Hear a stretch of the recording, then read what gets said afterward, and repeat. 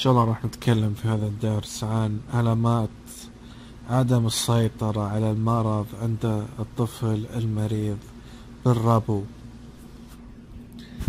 ابتداء نحتاج نسجل كل شيء بالتفصيل الممل.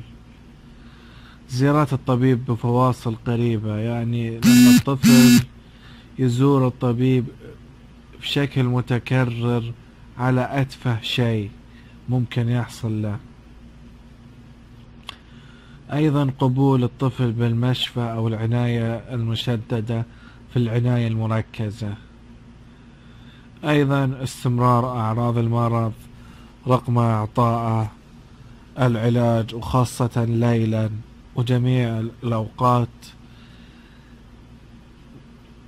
وأيضا يحتاج إلى عناية خاصة وكثرة البكاء الشديد مع زرقة في العينين وزرقة في الجسم وتغير في آه، الوظائف الحيوية الجسمية عند الطفل.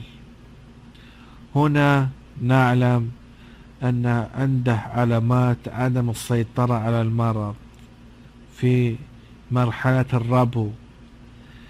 أتمنى أنكم استفدتم من هذا الدرس كان معكم الباحث خالد بن سعود الحليبي. نشوفكم إن شاء الله في درس قادم.